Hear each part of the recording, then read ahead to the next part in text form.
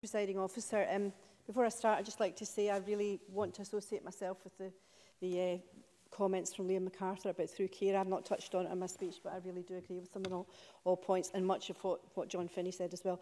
Well, much of what I'm about to say has actually been said in the opening speeches, but I believe that it is worth repeating because it is a success story.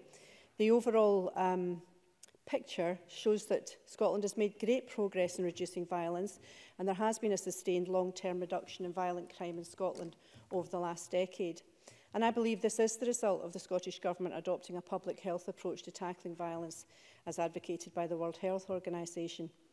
The emphasis is on prevention activity, uh, such as education and early intervention, which we, we know always works, uh, partnership working with the NHS, local authorities, community groups and appropriate law enforcement um, as necessary.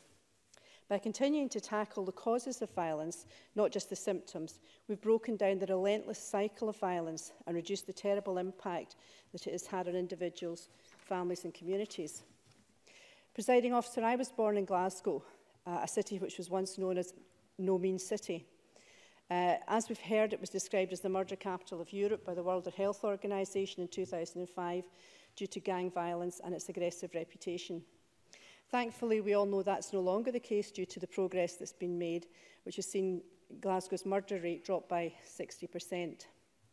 Even the World Economic Forum's praised Scotland's effort in reducing violence, with the new approach seeing violent crime in Scotland decrease by 49%, almost half in the last decade. The Scottish Government is fully committed to preventing and reducing violence, investing over £14 million in violence prevention measures and programmes since 2008.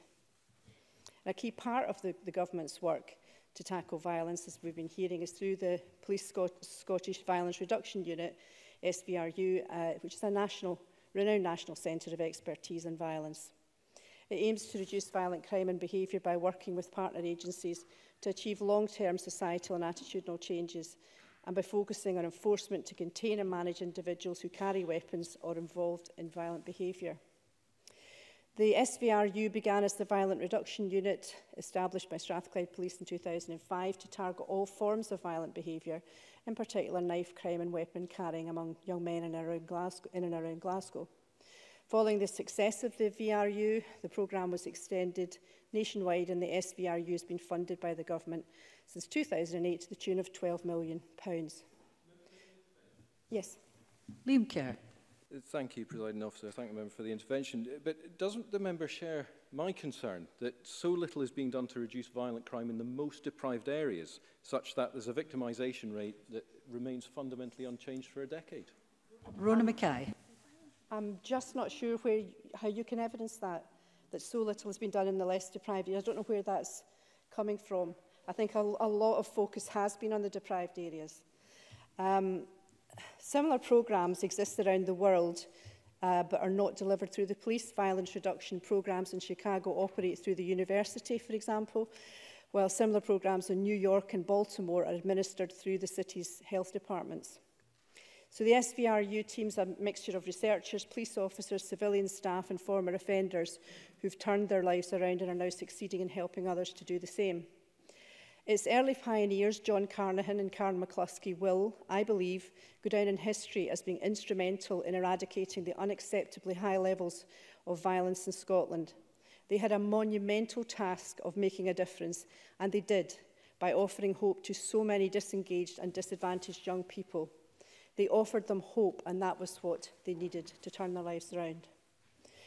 The SVRU introduced the Mentors in Violence Prevention programme after seeing its success in, in America, again learning from good, good practice.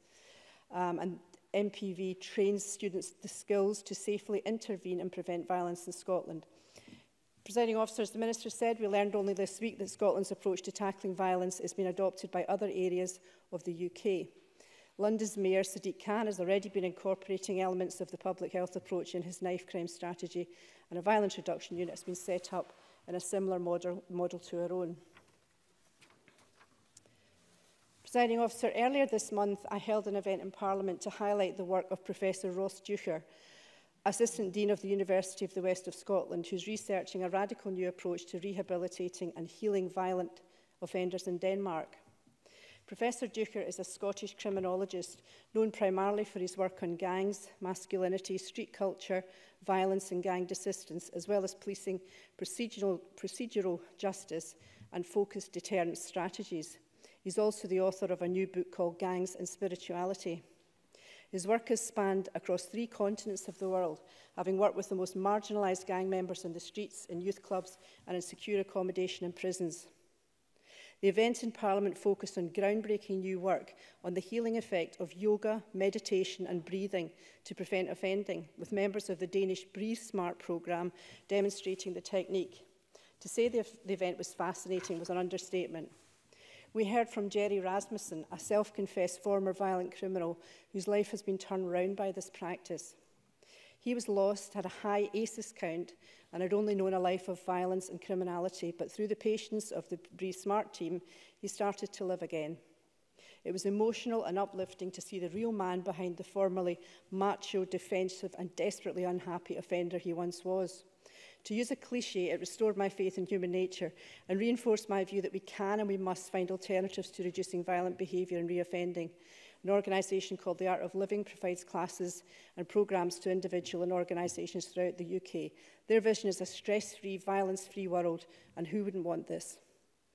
In conclusion, presiding officer, I'm proud that Scotland is at the forefront of tackling violence.